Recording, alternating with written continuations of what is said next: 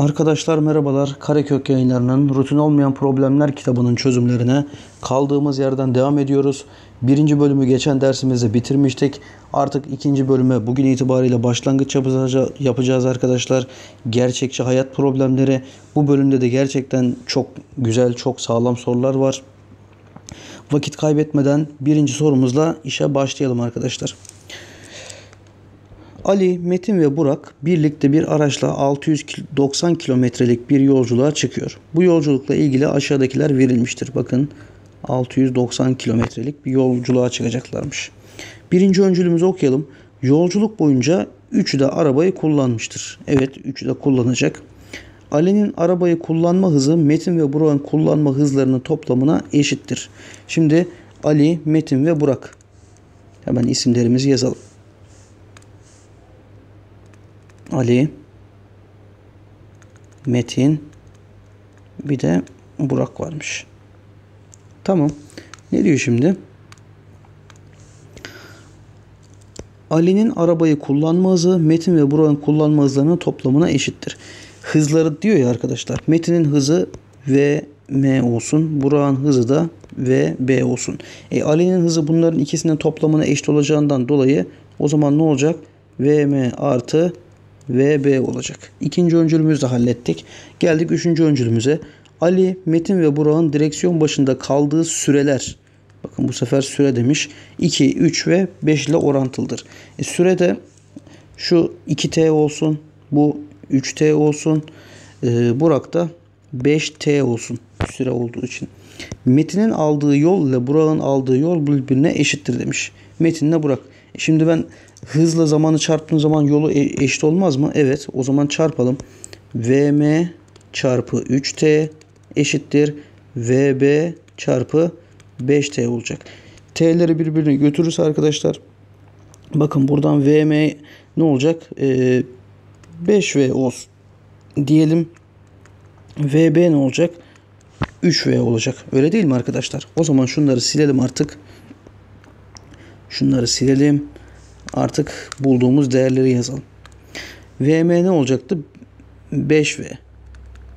Burak 3V. E, Ali de bunların ikisinin toplamıydı. 8V olacak. Öyle değil mi? Tamam. Şimdi arkadaşlar e, üçü de kullanmayacak mıydı arabayı? Evet. Şimdi o zaman Ali ne yapar? 8V çarpı 2T kadar yol alır. Metin 5V çarpı 3T kadar yol alır. Ee, Burak da 3V çarpı 5T kadar yol alacak. Burası ne yaptı? 16VT artı 15VT artı 15VT. Yani toplamda 46 VT yaptı. Öyle değil mi? 46 VT eşittir. Ne kadar yol gidecekti toplam? 690. E şimdi 46 ile bakın 690'ı sadeleştirdiğim zaman ne olacak? VT'yi 15 bulmuş olurum ben. Bize neyi soruyordu? Ali'nin aldığı yol. E, Ali'nin aldığı yol 8V çarpı 2T'den 16 VT değil miydi? E ben VT yerine de 15 yazarsam 16 ile 15 çarpacak olursam arkadaşlar nasıl çarparız? 16 ile 15'i kısa olarak. Bakın 15 ile çarpma kuralı şu şekilde de düşünebiliriz. 16'nın yarısı ne? 8. 16'ya 8 ekliyorum. 24 sonuna bir tane 0 ekliyorum arkadaşlar. Buna göre cevabımız 240 olmuş oluyor. Yani D şıkkı. Gelelim ikinci sorumuza. 15 kilogram ağırlığında taze bir karpuzun %99'u sudur. Karpuz birkaç gün bekletildiğinde %97'sinin su olduğu görülüyor. Buna göre son durumda karpuzun ağırlığı kaç kilogramdır? Arkadaşlar şimdi bu sorularda dikkat etmemiz gereken nokta şu. Ee, bizim elimizde yani kaybolmayan kısım posadır. Biz posa üzerinden yola gideceğiz. O zaman bakın 15 e, kilo ağırında bir karpuzumuz var. %99'u suysa e, bunun %1'i posadır. Öyle değil mi? Tamam. Birkaç gün bekletildikten sonra bakın %97'sinin su olduğu görülüyor. E şimdi o zaman ne olacak? Birkaç gün sonra posa değişmeyecek ya elimizde. Bu posa e, X olsun. Bunun da %97'si su olacak ya o zaman %3'lük kısmı pardon e, elimizde X kilo kalmış olsun. e, posası ne olacak arkadaşlar? Yüzde 3 olacak. Öyle değil mi? E şimdi o zaman buradan bakın son durumda karpuzun ağırlığını biz bulmuş olalım. Son durumda karpuzumuzun ağırlığı x demiştik. Şimdi bakın yüzler burada sadeleşir. 15 eşittir 3x'ten x eşittir ne olacak? 5 olmuş olacak arkadaşlar. Buna göre doğru cevabımız E şıkkı. Tekrar ediyorum arkadaşlar. Bu tip sorularda dikkat etmemiz gereken nokta posadır arkadaşlar. Çünkü niye? Posa kaybolmaz. Ondan dolayı. Gelelim üçüncü sorumuza. A, B ve C araçları aynı gün farklı saatlerde aynı noktadan bakın e, aynı noktadan aynı yöne doğru hareket edecektir. Evet.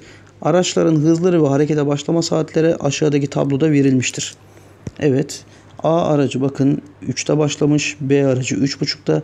C aracı da 4'te başlamış. Yukarıda da hızlarını vermiş bize. 60, 70 ve 80'miş. Buna göre C aracı A aracını geçtikten kaç dakika sonra B aracını yakalar?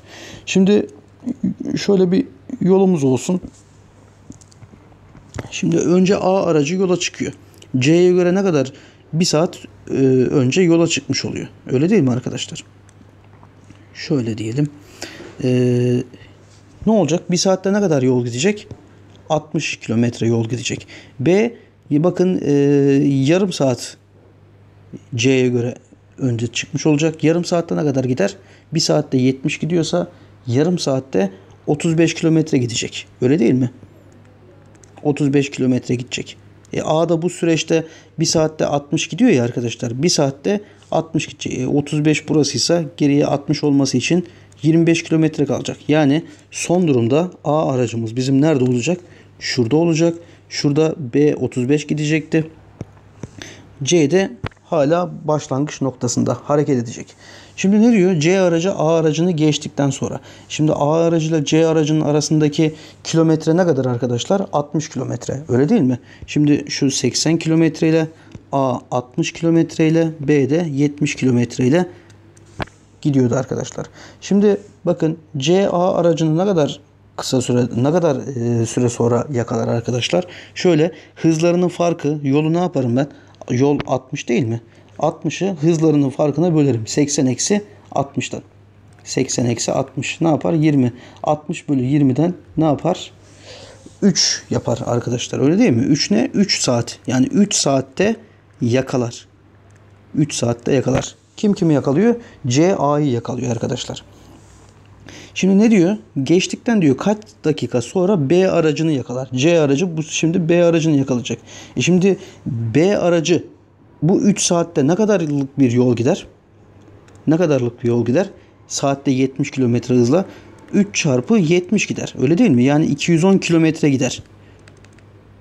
E şimdi ama ilk başta e, B aracıyla C arasında da 35 kilometre daha mesafe vardı.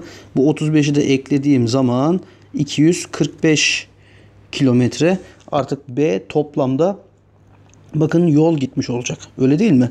E şimdi o zaman arkadaşlar e, o zaman şimdi ne olacak?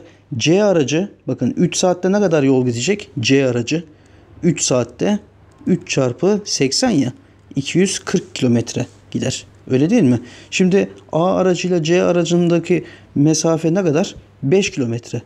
Evet bu 5 kilometreyi bakın yol bölü hızları ne verir bize? Zamanı verir değil mi arkadaşlar? Yol ne arasındaki mesafe? 5. Ee, hızları farkı ne? 80 eksi 70. Yani eşittir 1 5 bölü 10 yani 1 bölü 2 saat yapar. Öyle değil mi? 1 bölü e, 2 saatte yakalayacak. E 1 bölü 2 saat kaç dakika diyor. O zaman bunu da dakikayı çevirecek olursak 60 ile çarpmamız lazım. Yani 30 dakika sonra yakalıyormuş. Doğru cevabımız C şıkkı. Geldik dördüncü sorumuza. Bir sınıfın fizik öğretmeni kız öğrencilerin her birine 30 puan fazla verdiğinde sınıfın ortalaması 12 puan artmaktadır. Şimdi kızlar var, erkekler var. Bakın kızlara K diyelim. Erkeklere de ne diyelim? E diyelim. Şimdi ortalamayı bulacağım ya ben. O zaman ne olacak arkadaşlar? bakın kız bölü K artı E olmuş olacak. Öyle değil mi? Ama ne diyor? Bir sınıfın fizik öğretmeni diyor. Kız öğrencilerin her birine 30 puan fazla verdiğinde o zaman ne olacak? Ee, K vardı en başta. Her birine 30 puan daha fazla verirse ne olur? 30K olur. Bölü K artı E olur yeni ortalama. Öyle değil mi? Şimdi ne diyor? Sınıfın ortalaması 12 puan artmaktadır diyor. Şimdi son durumdaki bizim ortalamamız bu değil mi? Evet ilk durumdaki ortalamamız da bu değil mi? Son durumdan ilk durumu çıkardığım zaman bakın 31K bölü K artı E eksi K bölü K artı E ne olacak? 12 olacak. E 31'den 31'i çıkarırsam ne olacak? 30K bölü K artı E eşittir 12. Sadeleştirmeleri yaparsam 5, 2. İşler dışlar çarpımı yapalım. 5K eşittir 2K artı 2E ee, ne olacak? 2E eşittir 3K olacak. Yani E buradan 3 K'ya da 2 diyecek olursak neyi soruyor bize? Kız öğrenci sayısının erkek öğrenci sayısına oranı. Kızlar 2, erkekler 3 oranlarsam ne olacak? 2 bölü 3 olmuş olacak. Doğru cevabımız B şıkkı. Gelelim bugünkü son sorumuza. Birbirinden 400 metre uzaklıkta bulunan hızı 12 me- e, 12 metre bölü saniye olan bir kuş ile hızı 3 metre bölü saniye olan bir fil aynı anda birbirlerine doğru hareket ediyorlar. Evet, şekilde de görüyoruz zaten. Kuş fil ile karşılaştığında aynı hızla A noktasına gidip tekrar file doğru uçuyor. Yani kuş ne yapacakmış? Gidiyor, sonra tekrar geliyor, sonra tekrar gidiyor. Böyle bu şekilde hareketi söz konusu. Tamam. Fille karşılaşıp tekrar aynı şekilde hareketine devam ediyor. Anladık.